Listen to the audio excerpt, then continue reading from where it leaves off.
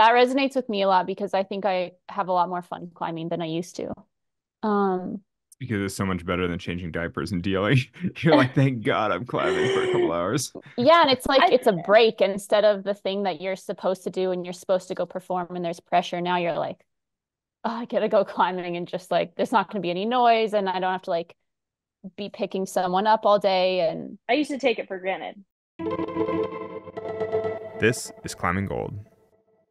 So, speaking of that, I mean, we just saw you in Bishop, and and you climbed everything's karate, the hardest route in Pine Creek, 14 plus, whatever. I mean, it's pretty freaking hard.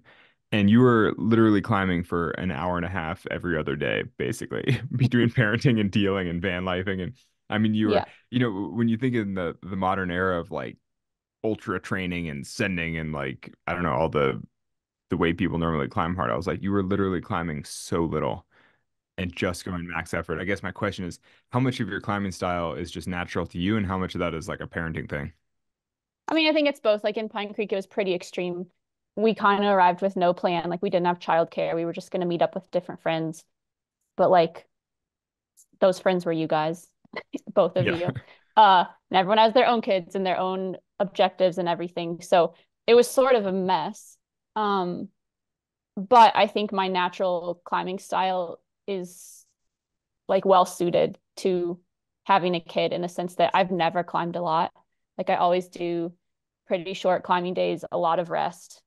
But when I'm on the wall, I'm trying super hard. So I think I'm I'm just not a volume climber like both of you are. I'm satisfied with like two really hard pitches for the day. And that's like a full day of climbing for me. And it works and it always has. And so it's not a huge shift, but I think the mental shift is really different where you're like, oh, there's like probably someone back at camp screaming while I'm up here climbing and like someone's struggling with my kid. And, um, you know, there's like a lot more going on. And so the focus isn't as, you just don't have like the capacity to focus as much on climbing. But the time commitment is fine. It, it works. How do you guys both manage that that sort of guilt of being away? When when you are climbing, you're sort of like, oh, I should hustle this last pitch so I can get home because I know that either my partner is struggling with a baby or you know like a nanny or a helper, or somebody is struggling with a baby. You're always kind of like, oh, I should probably get home because I feel like I used to always do a couple extra pitches at the end of the day, or like you know check out that zero star 512 over on the right side of the crag where you're like, I've always wondered if that route's cool, but you know that realistically it's going to take you like an hour to like get chalk on it and figure it out, and you're kind of like, you know, I don't really have an hour. I should just go home and not climb that extra pitch. It's like, I mean, do you do you guys struggle with that kind of the the time side of parenting? I I think for me, I used to struggle more a few months ago, and I've gotten better at kind of really enjoying the time that I have to climb and then being able to like accept and let go of the fact that I don't climb as much as I used to.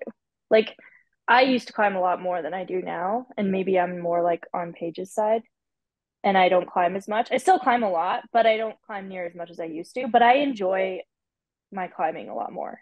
So I think that's what has shifted for me. It's like, yeah, I don't do as much, but the time that I am climbing, I'm actually really present and enjoying it a lot more. And then I can completely shift and go be with Arrow and be okay with that. Yeah, that resonates with me a lot because I think I have a lot more fun climbing than I used to. Um, because it's so much better than changing diapers and dealing.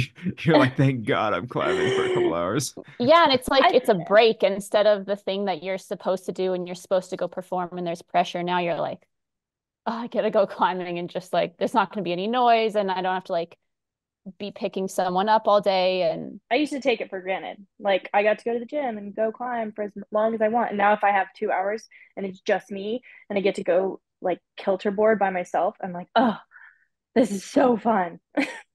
totally. yeah. Like luxury. Yep. I made Put a goal your... this year that because I don't I don't go outside that much. Like when I'm on a trip working on a project, I'll be outside. But when I'm home, I mostly climb in the gym. Um, and this year I was like, I want to climb outside once a week, which to you guys is like laughable because you're outside a lot more than that. But I just I was like, I should get out of the gym and just be outside. And it's been so fun. And I think I do value that time a lot more. Um, Does that mean you're going to run out of routes in Colorado in, in about a year, though? If you're climbing outside one day a week, you're going to be like, oh no, I tapped no, out. No, I'm only bouldering. And... Oh, I'm only bouldering, and there's tons of boulders. Okay, if you're only bouldering, then you'll never tap yeah. out the front range. no, especially at my level. So yeah, totally, fine. totally. You, you got a ways to go.